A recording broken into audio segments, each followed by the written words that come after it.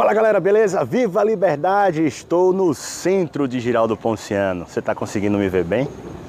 Tá bem iluminado aí para você? Deixa eu lhe mostrar aqui então a novidade que a prefeitura de Giraldo Ponciano está trazendo para a população. Lâmpadas de LED, iluminando melhor, né não, irmão? Não é não?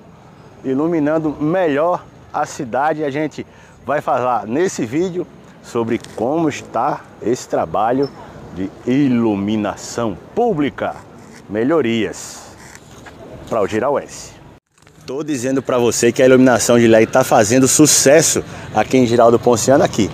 Ô Juarez, Juarez, boa noite. Boa noite. A iluminação aqui, rapaz, ficou bacana, não foi? Ficou, ficou bastante boa. A dá, primeira aqui. Dá para ver até a praça bem agora, né? Dá, dá para ver a praça muito bem. E fica mais seguro também, né? Porque quando tem iluminação, se tiver algum ladrãozinho, ele se assusta e não vem pro claro, né? É, não vem não mesmo. Muito bem aqui. Tá aprovado então. Aprovado. É isso aí, valeu. Valeu.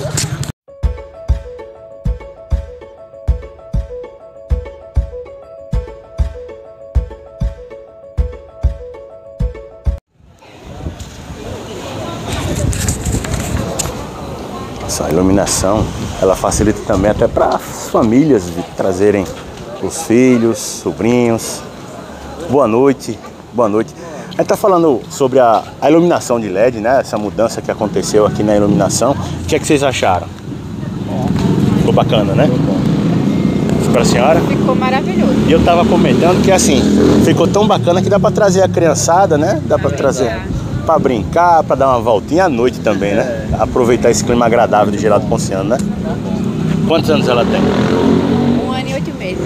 Um ano e oito. A senhora é mãe? É. Qual é o nome dela? Agatha Sofia. Aí, dá pra, pra Agatha, o futuro de geral, brincar aqui no centro da cidade. Obrigado, hein? Valeu, grande abraço.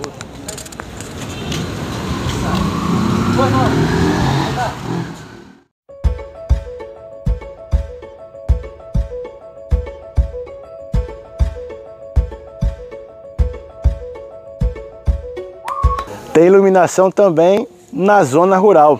Estou em Lagoa Grande do Jatobá, na Praça Luiz Joaquim de Miranda. Você pode ver, ó.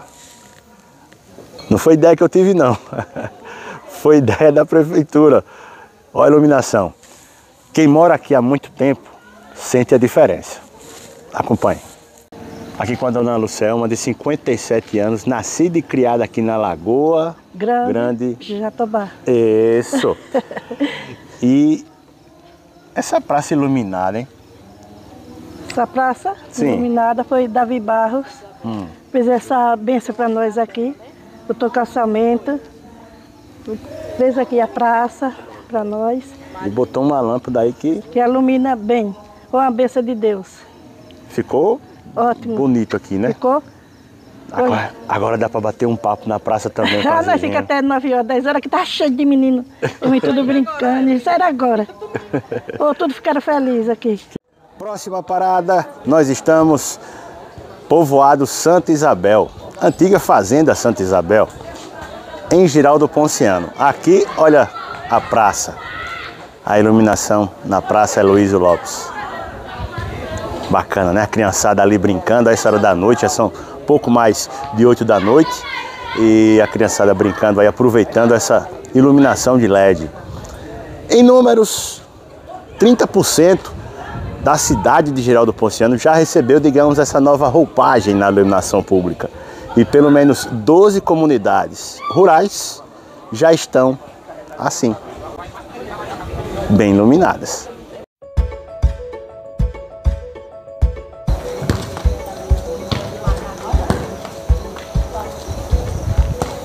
Essa imagem era muito difícil de acontecer a esse horário, já são mais de 8 da noite aqui pra gente. E o Gabriel Barbosa, que é o representante aqui da garotada, vai poder falar pra gente como é que era antes dessa iluminação. Como é que era, Gabriel? Era bastante escuro e a gente não brincava, a gente ficava mais em casa. Dava que horas e você já tinha que correr pra casa? Seis e meia, sete horas. Começava a escurecer, mas por que ia pra casa? Medo, bastante medo. Medo? Ficava meio escuro aqui e tal, aí corria algum risco de, de ladrão e tal, essas coisas. Isso. E agora com, com a lâmpada? Agora ficou mais tranquilo, né? Tem, a gente enxerga melhor para brincar. Em nome de toda a direção aqui da nossa comunidade, do nosso assentamento, estamos muito agradecidos pela iniciativa que o prefeito esteve de fazer esse projeto tão importante para nós e para a nossa comunidade. né?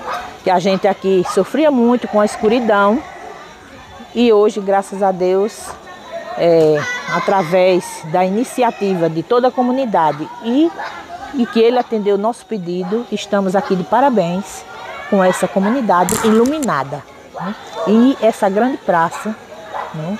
e com os brinquedos que está trazendo, é, dando muita dor de cabeça para as mães, porque as crianças querem, só querem estar nos brinquedos brincando. Ninguém quer ir pra casa mais. Ninguém quer ir para casa, mas estamos muito felizes, graças a Deus. Quando você voltava do IFAL, antes dessas lâmpadas, como é que era? Era muito escuro e eu não me sentia seguro de andar no escuro, tanto que teve alguns assaltos ano passado e eu não me sentia bem andando no escuro. E depois das lâmpadas? Na lâmpada, com as lâmpadas eu me sinto mais segura, pois enquanto eu vou andando na praça, o povo vai vendo que eu tô ali, né? Eu me sinto mais é, protegida. E isso a gente não está falando de meia-noite, era coisa de Não. sete da noite, Sete né? da, Quando seis você- horas já estava anoitecendo já, já estava escuro. E a hora que você chegava aqui, seis e meia, sete horas, já estava tudo Já escuro. estava tudo escuro. Tá uma benção, tá muito bonito, né? Nós agradecemos, graças a Deus, pelo trabalho, né? Do nosso prefeito, podemos dizer, né? Com a sua equipe. lugar que a gente sempre sonhou de morar, de ter uma morada para morar. Tudo arrumadinho.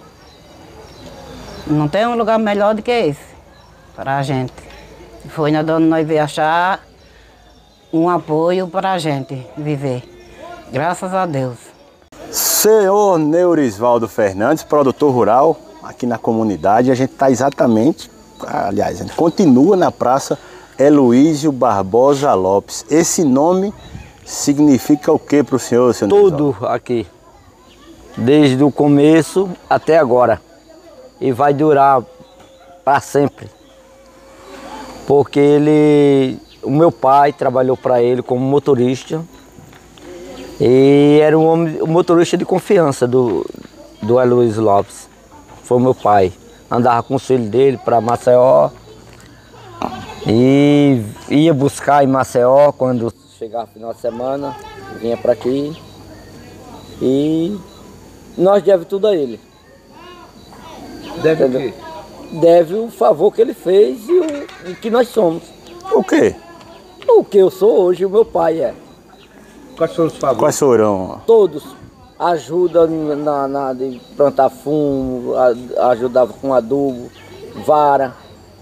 Entendeu? Essa área aqui, Aqui são mil tarefas de terras que o filho dele, o Júnior, doou para o INCRA, né? Que a Maria é presidenta aí, ela sabe que hoje estão eles aqui, bem assentados. Eu acho que no estado de Alagoas não vai existir um assentamento como Santa Isabel. Tenho certeza absoluta. E quando o senhor vê esse desenvolvimento aqui chegando com uma, uma praça muito bonita, né, com brinquedos para a criançada, essa iluminação para a comunidade, né, 50 famílias aqui, é, com essa iluminação que garante, assim, tira mais a insegurança, né, como a gente já ouviu relatos aqui de moradores que ficavam com medo com, em relação à antiga iluminação.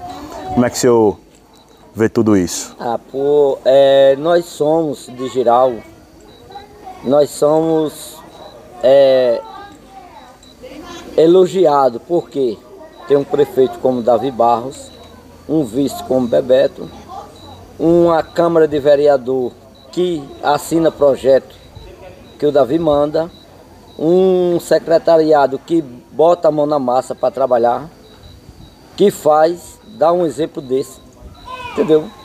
Aí eu só tenho a agradecer. E vai continuar assim. Muitas pessoas a gente é, não tinha liberdade de ficar em frente às suas casas, não tinha liberdade de até quando o pessoal ia para o centro de Arapiraca, quando voltavam os alunos, né, já vinha com medo de vários assaltos, como já aconteceu, enfim, entre outros. Então a gente só tem a agradecer o pessoal com relação a essa iluminação pública e dias melhores virão.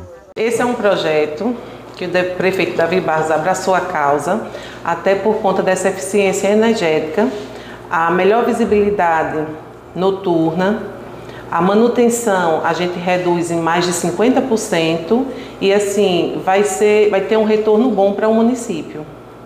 E como é que, que em que patamar está essa, esse trabalho? A nossa, o nosso objetivo inicial era que até outubro todas essas luminárias fossem concluídas. Só que houve aquele problema de dois meses e meio de chuva que afetou essa, essa etapa. Isso. Uhum.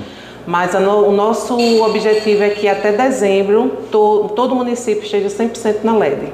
Já foram instalados quantos? 2.400 LEDs. E de um total? Total de quase 10 mil.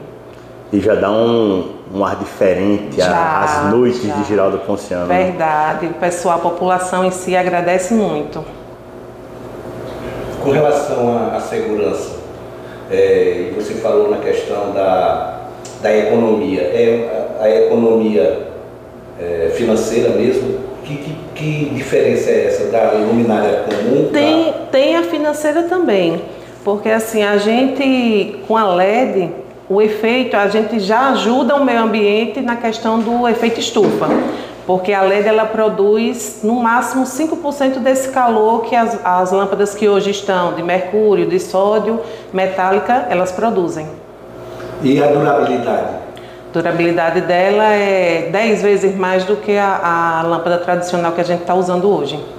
Com isso, a manutenção da gente diminui e agiliza para atendimento à população. Então, atende tanto a questão da segurança como a questão da economia financeira para os cofres públicos. Exatamente.